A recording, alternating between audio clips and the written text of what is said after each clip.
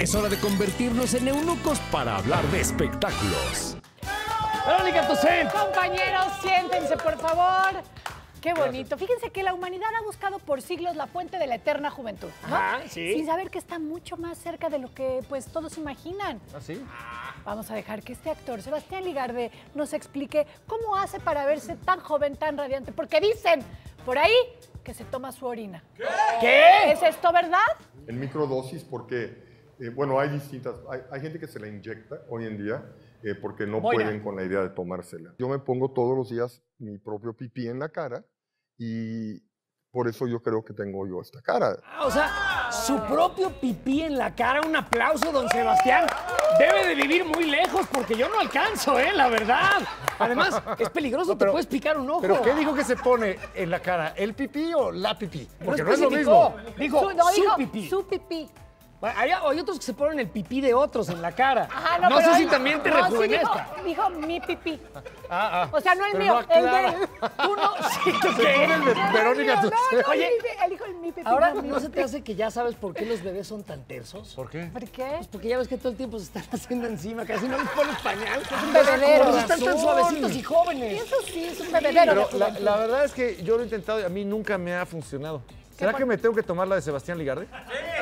¿La qué? ¿La que? ¿La pipí? ¿O quieres ver el Cinema Golden Shower? No. Ah, a lo mejor eso es lo que, lo que Trump quería en Rusia, ¿no? Ajá. Por eso le pidió a las prostitutas que orinaran encima de él para rejuvenecer. O sea, seguramente cuando pidió su lluvia dorada, dice, rejuvenecen el cutis, por favor, mi querida Matrushka. ¿No? Pero, pero hay, hay un problema. ¿Cómo le haces después con el, el aliento? Ah, pues te tomas una pastilla. Sí, pero de Una- pato. de- de- o de Mr. Músculo. de esas de las de la taza. Acá. Me va a quedar azul el hocico. La prueba más contundente de que esto no funciona son los baños del Azteca. ¿Cómo? O sea, se deberían de ver nuevos, ¿no? Sí es cierto. Están todos jodidos. Pero bueno, aquí no queríamos quedarnos con la duda y queríamos ver si realmente funciona y para eso trajimos unas pipí? muestras de ¿Dónde está la nuestro mía? propio... Ah. Tu pipí la tienes atrás. La traías ahí en el... Sí, sí. Tu pipí está atrás. ¿Van a darle un llegue? Una, una probadita, mira. No, no, no. Es de la mañana. dense, Está no fresca. Tiene bonito color, bonita consistencia. Dale bien, no, no le diste. Pues la verdad- Hidalgo, Hidalgo, Hidalgo. ¿Me ves Hidalgo. más joven? No. No se ve cambio alguno, el ¿verdad? No, espérate, no. ¿No será que es con la de otro? A ver, A ver, vamos a intercambiar. No es la primera vez que intercambian pipí.